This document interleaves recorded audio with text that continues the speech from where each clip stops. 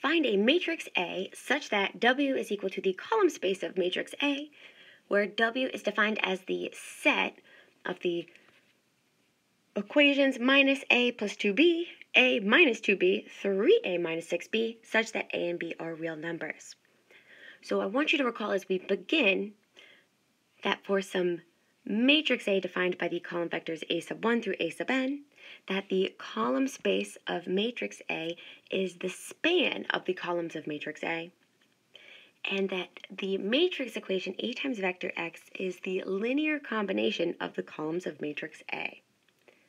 So here again, our job is to find a matrix A such that W is equal to the column space of A. And we're given this set W here.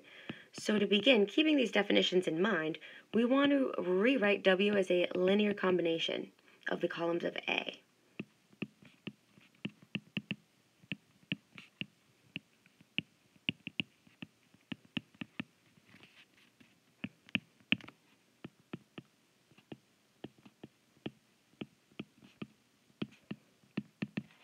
So we want to rewrite this set W as a linear combination of the columns of matrix A. And we were given set W is minus A plus 2B. We then have A minus 2B and 3A minus 6B. And so we have two variables here. We have A and B. So factoring this out of our first column vector here, we have a multiplied by the constant vector negative 1, 1, 3. And this is plus our second column vector here defined by v, b. We can pull that b out, that scalar b out in front, leaving us with the column vector 2, negative 2, minus 6.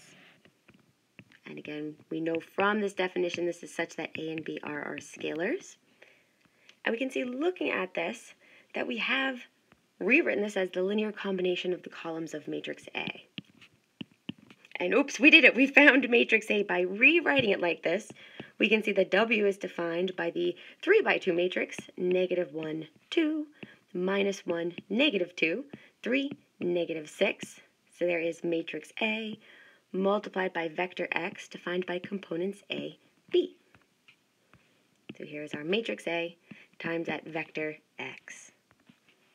And so we can conclude, therefore, matrix A defined by column vectors A sub 1, A sub 2 is our beautiful 3 by 2 matrix here. Negative 1, 2, 1, negative 2, 3, negative 6.